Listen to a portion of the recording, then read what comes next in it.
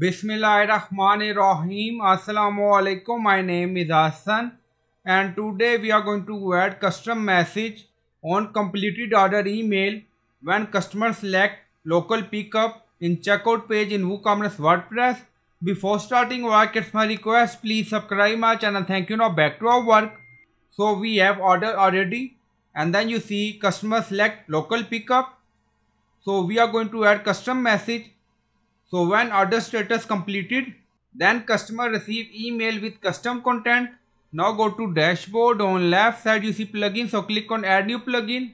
Then in search plugin write WP code. So this is plugin WP code insert header and footer we will use. So you will install this plugin and activate it and after activation on left side you see code snippet and then you see add snippet so click on it. Then you see add your custom code so again click on it now create custom snippet section open and then you can add title then you see code preview. On right side you see code type drop to select PHP snippet now we are going to paste code and you will find this code in video description or in comment section. And then you see customer completed order email ID and then you see local pickup. So we are going to target customer order completed email. And then you see custom message note Please wait for telephone confirmation of local pickup so you can add message according to requirement. And then scroll down you see insert method auto insert location run everywhere on top you see inactive not active and then click on save snippet. Now snippet created and saved. Go to order page again. Now you see local pickup refresh the page. And then you see order status processing now select completed and then click on update. Now order updated done.